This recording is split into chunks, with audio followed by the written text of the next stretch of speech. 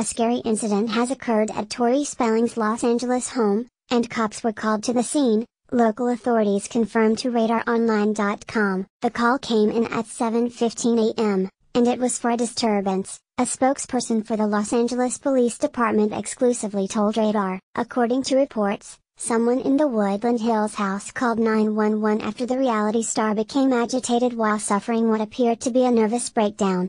In addition, the mom of 5, 44, allegedly called cops last night because she thought an intruder was breaking into her home, but the suspect was just in fact husband Dean McDermott, 51. The couple has a history of marital problems.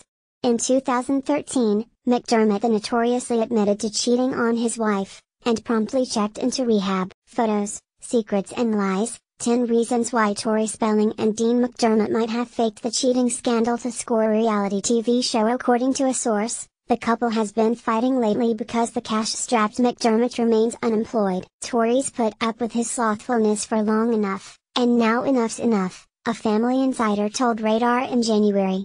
They also have been experiencing serious financial woes. McDermott still owes his ex-wife Mary Jo Eustace nearly $100,000 in child support and alimony back payments. For more on this breaking news story, keep reading a Radar. We pay for juicy info. Do you have a story for radaronline.com?